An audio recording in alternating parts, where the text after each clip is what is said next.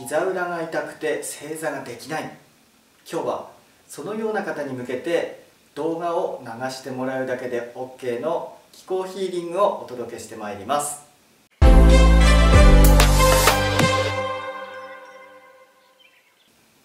こんにちはこうです。本日は視聴者さんよりご依頼をいただきました。膝裏が痛くて正座ができないというお悩みを解決するヒーリングをしてまいります。お仕事で正座をしないといけないらしいんですが正座をしようとすると膝裏やふくらはぎに痛みが出るということなんですね。おそらく太ももの裏からですね膝裏そしてふくらはぎまで伸びている座骨神経が圧迫されて痛みが出ているんじゃないかなと思います。お尻にある梨状筋ですとか太ももの外側にある外側抗筋がですね硬くなっているのが原因かなと思います今回はこの辺りのですね関連する筋肉を緩めるヒーリングをしてまいります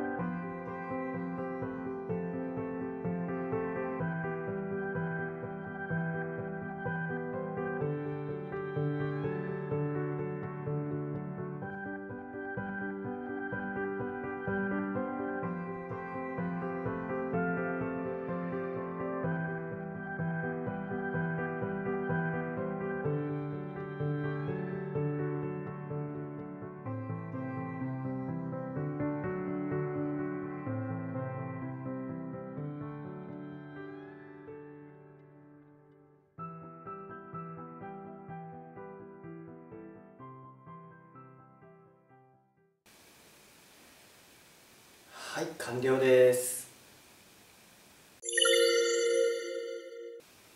はい本日は膝裏の痛みで正座ができない人へ向けた気候ヒーリングをお届けしてまいりましたがいかがでしたでしょうか？それでは次回もよろしくお願いします。またね。